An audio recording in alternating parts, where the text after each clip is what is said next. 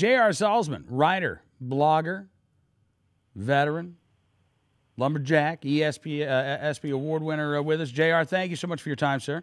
Hey, thanks for having me on, Cam. You bet. Uh, I, I got to say, man, this was a, a fantastic takedown of the uh, Rolling Stone article, uh, The Gun Industry's Deadly Gun Addiction. Uh, we, we talked a little bit about this. We went over the first quote that you cited. Uh, that that basically the uh, the thinking is uh, the reason why the uh, AR platform and uh, modern sporting rifles are so popular is because we're we're being force fed these guns because. Um, uh, the customer base is too old, too white, too male, and too southern. We're, we're dying off, and so they got to get us hooked on new guns before we all drop dead from eating sausage gravy, right? Yeah, I mean it's a uh, it's a talking point. You know, took straight from the anti-tobacco campaign. I mean that's really the correlation they're trying to bring. That uh, you know that we're we're uh, it's the guns are so deadly that they're killing all of us off, and we need to uh, we need to keep being force-fed these guns. Uh, you know, to to keep up the population and to uh, you know to keep the the Second Amendment crowd alive. You know, it's so utterly ludicrous that uh, they would draw these conclusions based on you know, I'm sure as your uh, as the listeners know and as you know that uh, you know based on nothing whatsoever. I mean, it's just simply shameless shameless demagoguery and. Uh, oh, it's, I mean, it's, it's absurd. I mean, like Yeah. you know, this uh, much of the industry's recent success is linked to politics, in particular to the gun buying public's anxiety about the first black man in the White House. Um, no, I, I think it was the Chicago politician who has said throughout his entire political career that he wanted to do things like ban handguns that had gun owners concerned. Well, yeah. I mean, look, when you go down here, when you go down the list of uh, you know reasons that they want to ban you know certain guns or certain type of guns, none of it really makes sense. And uh, you know, especially uh, the thing that I always hang up on as a as a as a combat veteran, as a former infantryman, I've shot uh, and have vast experience with actual machine guns.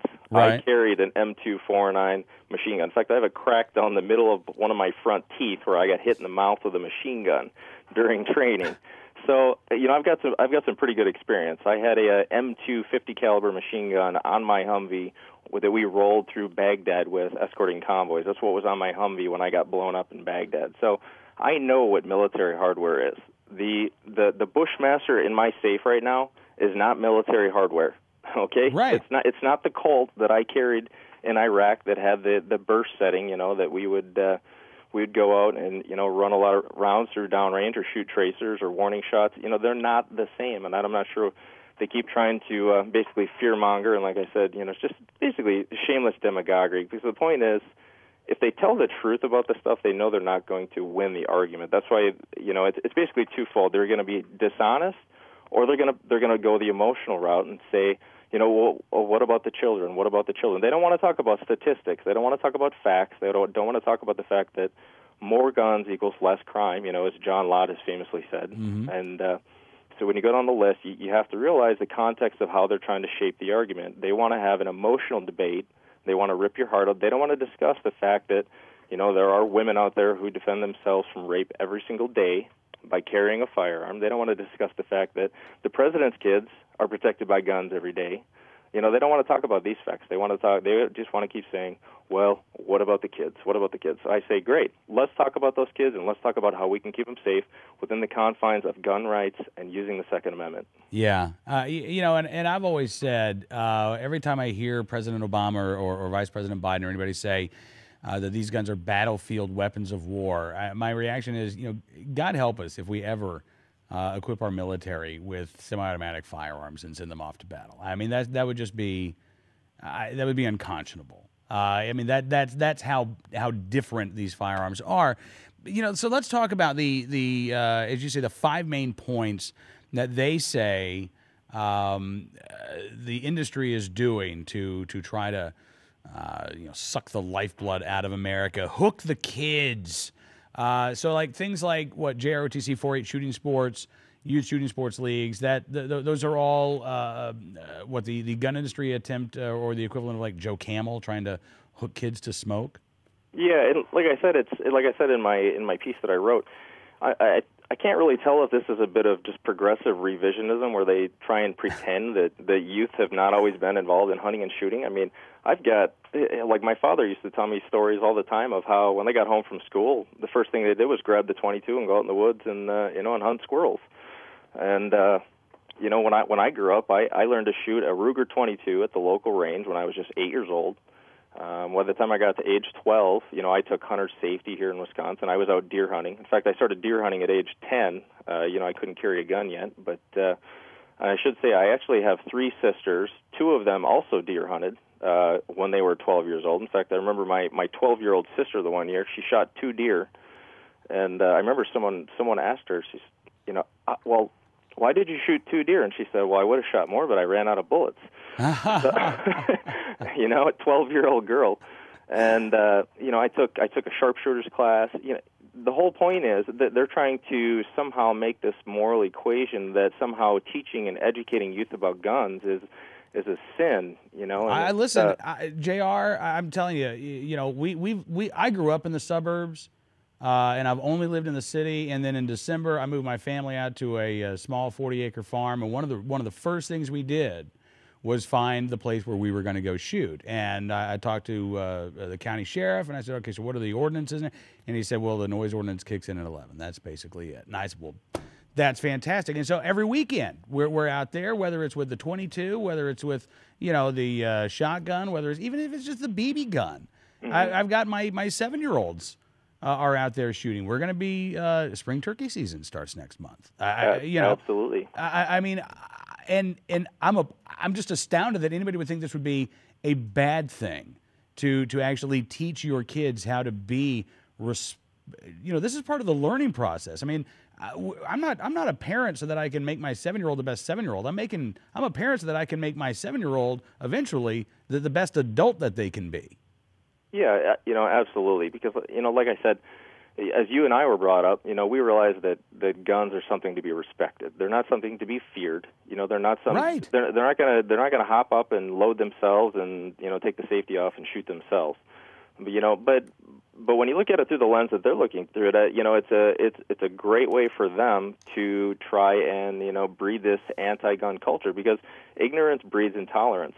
You know, and as I said in my in my piece, you know, it's a lot easier to convince people to join the anti-gun crusade when when they don't know the difference between a machine gun or a semi-automatic. They think a clip and a magazine are the same thing, uh-huh. or they think handguns are held sideways like gangbangers. Right. You know? I, uh, did they did they get into? I mean, did they talk about the the benefits of?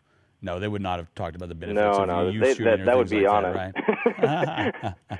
uh, so then, uh, marketing to children, uh, and again, I would note that there are high schools all around the country. If you go down to the basements, there are rifle ranges from the 1950s and 60s because there used to be rifle teams that would shoot in the basements in the 1950s and 60s. But somehow they weren't marketing to kids back then. Um, so we got the kids and we got we got women, right? Because now they're they're going after the ladies. Yes, absolutely. You know, they they try to. Uh, again, you know, they just sort of pulled a statistic out of thin air, and they said, well, just 15% of women own a uh, gun nationwide. Well, actually, they are the fastest growing demographic. It's not 15%; it's nearly one quarter. And uh, you know, a lot of women are realizing that it's a great equalizer uh, against a man of superior strength. You know, and, and that's that's the harsh reality of you know biological differences. Obviously, a man, most men have superior strength, but you know what? A, a, a gun is a great equalizer for that. But you know, unfortunately, as we've seen in Colorado um, and elsewhere in the country, that uh, on the sort of on the liberal hierarchy of agendas, um, anti-gun trumps, uh, you know, empowering women. So they have actually gone so far as to say, and uh, as other people have heard around the country, they've said that uh, uh, women are not capable of handling a gun or d- properly defending themselves, or they're not smart enough to know when they might be raped, uh, and they're better off with a rape whistle or a call box. Um, you know, apparently they've never heard the uh, the harrowing tale of uh, survival from Amanda Collins, who was raped with a call box over her head, less than you know 50 feet from a closed campus police office. Yeah. You know, you know the sad thing is they have heard her. They've, they've, they've sat there and they've listened to her and they've said things like, you know, the statistics just don't bear out what you're saying, Amanda. Yeah. We, we, I mean, that, again, it's just mind boggling. Absolutely. In the uh, the rep, uh, and I can't remember if it was a senator or rep in Colorado uh, who said that, has since you know, walk back on her rhetoric on that. I mean, what kind of a person would would say that to a face to face to a rape victim? And uh, because she said the stats weren't on her side. Well, the truth is the stats were on her side. You know, she said, well. I think it's somewhere in the neighborhood of like one percent of uh, times when a woman is, tries to defend herself with a gun against rape is the gun taken away. More often than not, you know, vastly uh, the vast majority of the time, a woman successfully uses a gun to defend herself. So, you know, it's crazy to me that they'll sit here and say, well, if it saves one kid or if it saves one life, well, if it saves one woman from being raped, is it not worth it? One would uh, one would think. Uh, yeah, that, but, that's my logic, but you know, I, I I guess I'm not drinking the same Kool Aid, so. Yeah, I know. Uh, it's just bizarre. So then the uh, oh, the other thing is they they complain about shooting ranges. Uh, you know now using interactive targets and things like that. Again, modernizing, growing, uh, changing with the times. Yeah, this, this is the crowd that has abided by the, the motto, if it feels good, do it. Right. And yet now they suddenly have this anti fun agenda, as if some, shooting something other than pop cans and bottles or just you know flat bullseyes is uh, it's it, it shouldn't be allowed. You know they're trying to make this video game equation because let's face it, going to the range is fun, but you like to mix it up once in a while. You like to shoot something other than the tree, or uh, you know, you want you want to shoot something other than the uh, you know a target downrange at 100 yards. So that's what it's about. You know, if you can bring your kids out and have fun, but uh, you know, for them to try and make the the anti-fun argument. Uh, you know, like I said, apparently it's supposed to be as unpleasant as the listening to Green Day or reading the politics section of Rolling Stone because it's just it's just so utterly mind blowing for them to try and make. Going to the range should be like going to the DMV.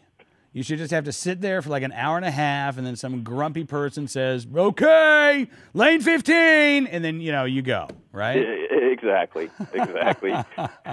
they were. I think even they acknowledged they were probably reaching a little bit on that argument. But uh, so then we have. Uh, uh, prep the preppers. Oh, and then the last one, uh, supply cartels and criminals. So, so we've got the uh, the the, the uh, they're anti prepper. Yeah, so we've got the anti-prepper argument, and this kind of goes back to the, uh, uh, I think, uh, in my opinion, the liberal mindset that you don't need a gun to defend yourself. That's what police are for. You don't need to stockpile, you know, food and supplies. You know, that's what the government is for. Well, as a journalist, uh, I covered Hurricane Sandy. I was actually on the ground out on Rockaway on on election day, you know, and I saw the effects firsthand of this, you know, the gun-free utopia of Bloomberg's New, New York. I mean, there were there were signs uh, in in the yards of some of these homes that said, "If you loot, we shoot." You know, because the reality was, uh, Bloomberg did not want to let the National Guard in to help the overwhelmed NYPD in the aftermath because they had guns, and he said he did not want to turn it into a police state. I mean, I can't think of a more ridiculous argument to make. So, you know, here you had these people who were basically uh, you know left to fend for themselves. So I asked this one gentleman, he was a union plumber in uh you know been working at the World Trade Center and I asked him about a sign. He said, "Yeah." He goes, "And I mean it too. I've got a shotgun right inside the door."